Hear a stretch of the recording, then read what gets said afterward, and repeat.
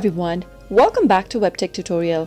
In today's video, I'll be guiding you through how you can log into WhatsApp Lite. Keep watching the video till the end to learn how and subscribe to our channel by hitting the subscribe button. Don't forget to press the bell icon so that you'll never miss another update from us. Tap open the WhatsApp Lite application. The very first interface of WhatsApp Lite will look like this. Now tap on Start Messaging and the first thing you'll need to do in order to log in is to enter your mobile number. Once you do that, tap on the next button and wait for an SMS to arrive. Copy the SMS and type it in the text field. Once you enter the code, you'll be automatically taken to a next page and therefore you'll be logged into your account. That is how you can log into WhatsApp Lite. I hope the tutorial was helpful to you. If it was, go ahead and give it a thumbs up. Feel free to comment down below in the comment box if you have a question or a feedback for us. I'll soon be back with more tutorial episodes. Goodbye till then.